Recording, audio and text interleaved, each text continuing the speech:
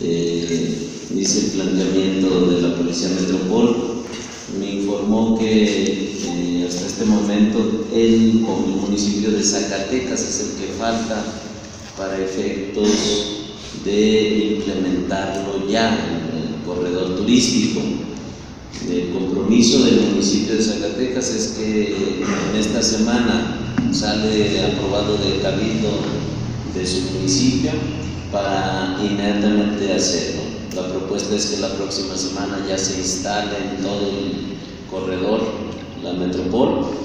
Eh, le decía sobre la urgencia y la necesidad que se requiere en Fresnillo. Y lo planteó también la preocupación, él planteaba la lucha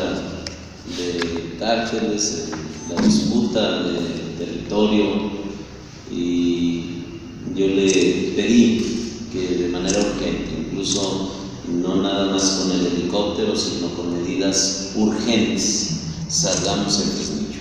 Y quiero, lo quería decir la próxima semana, pero me adelanto.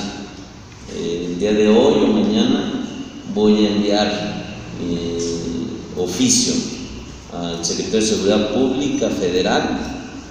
al nuevo, a quien va a ser el responsable de la seguridad pública, el doctor Alfonso Durazo,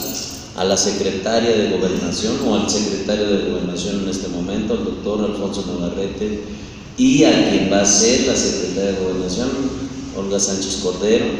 con copia al senador Ricardo Monreal y al coordinador de la Cámara de Diputados, pero también le va a hacer llegar al secretario de Defensa Nacional, que es actualmente, y a quien va a ser secretario de la Defensa Nacional, para que se atienda el tema de Fresnillo, que voy a girar estos oficios y sobre todo también voy a girar un oficio directo al presidente de la República electo, al licenciado Andrés Manuel López Obrador, para que se atienda